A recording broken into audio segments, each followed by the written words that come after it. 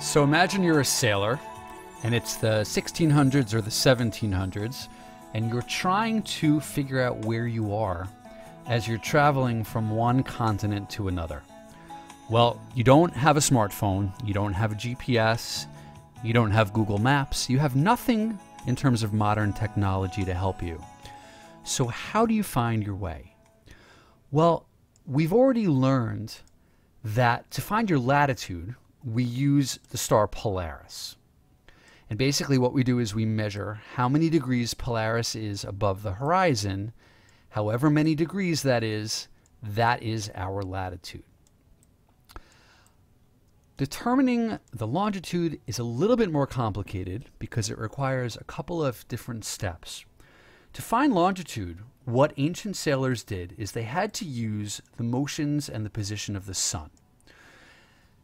And what we mean by that is they had to figure out what time it was in two different places. First, they had to know what their local time was. So, wherever the ship was, they had to know what time it was in that place. They also needed to know what time it was back in Greenwich, England, along the prime meridian. So, the name of that time zone is called the Greenwich Mean Time Zone, or GMT. So, Here's how they did it. Let's say that on the ship it was 6 p.m. And on the boat there would have been a clock that had Greenwich Mean Time. Let's say in Greenwich it's 2 p.m. So we have to do a couple of things here. The first thing we need to do is we need to figure out the time difference between Greenwich and the ship. So I can see from 2 p.m. to 6 p.m. is a four hour difference. So that means that the ship is four time zones away from Greenwich. Well, we know that each time zone is 15 degrees apart.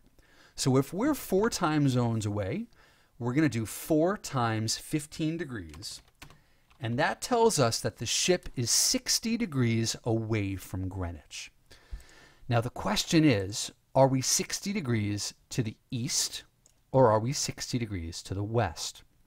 Well, we know that because of how the Earth rotates from west to east, when we travel to the east, we add an hour for every time zone that we cross. When we travel to the west, we subtract an hour. Well, in this example, the ship's time is 6 p.m., which is later than Greenwich. That tells us the ship has to be to the east of Greenwich, where the time would be later. So in this example, the ship would be 60 degrees east. That's the longitude. Let's look at another one. Okay, so now on the ship it's 7 a.m., 7 in the morning. And in Greenwich, England, it's 10 o'clock in the morning. Well, how many time zones apart are they? Well, from 7 a.m. to 10 a.m. is a three hour difference. Again, each time zone is 15 degrees wide. So we know that we are 45 degrees away from the prime meridian. Are we 45 degrees to the east or are we 45 degrees to the west?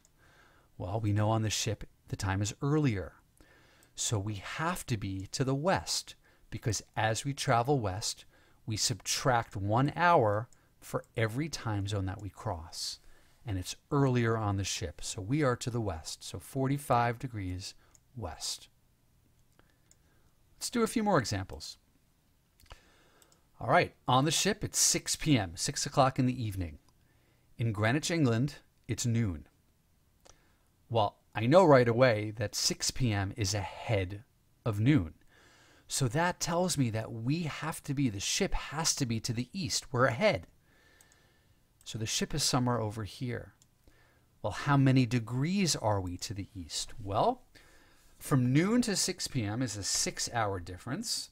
So we're six time zones apart. Every time zone is 15 degrees. So 6 times 15 is 90. And we've already determined that we are to the east because we're ahead.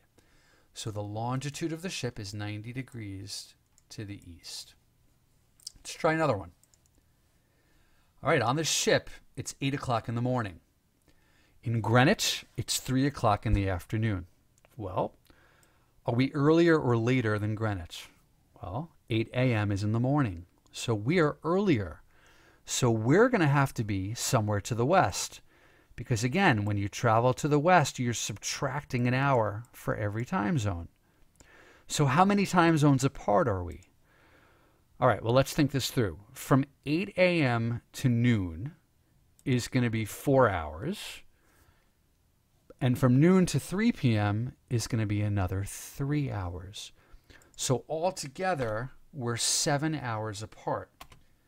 So, seven times 15 degrees, because each time zone is 15 degrees wide, is going to give us 105 degrees.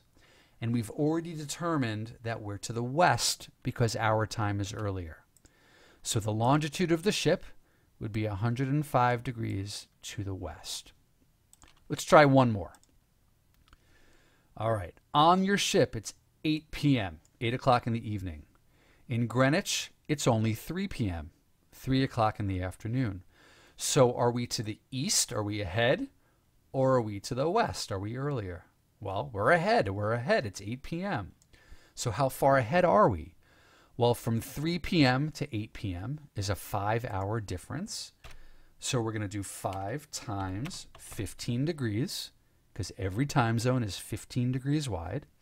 And that's going to give us 75 degrees. And we're ahead. So we're to the east. I hope that this video has helped you understand how we determine the longitude of a place by using the local time and the Greenwich Mean Time.